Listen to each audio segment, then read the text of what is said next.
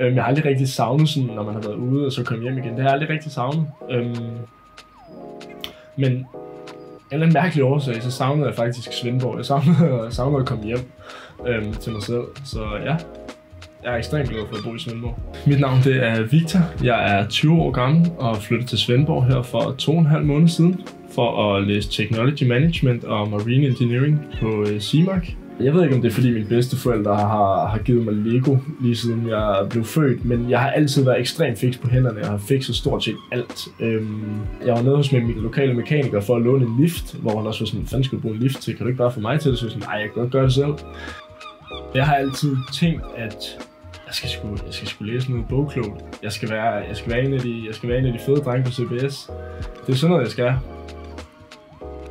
Det har taget mig nok et år eller halvandet og ligesom, hvad skal man sige, komme til kort med mig selv, og ligesom være straight up med sig selv, og ligesom sige, okay Victor, prøv at cut the bullshit. Nu, nu er det ligesom ikke andres forventninger, og det er ligesom ikke, hvad andre synes, du skal gøre, der ligesom er vigtigt. Nu er det ligesom, hvad, hvad er du rent faktisk god til?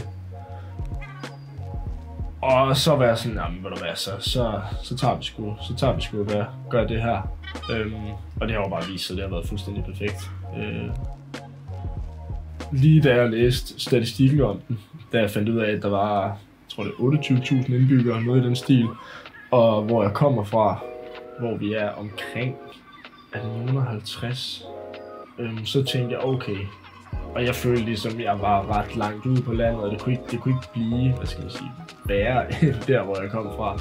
Så kommer jeg så herned, og så er altså byen og, og havnen og det samspil, der er, der blev jeg virkelig, jeg blev virkelig glad og positivt overrasket over, og, og så over bare det liv, der er øh, i weekender og på torvet og til fester og, og i byen og så videre, så det har virkelig overrasket mig positivt. Øhm, og den føles, den føles tre gange større end der, hvor jeg kommer fra, så det er perfekt.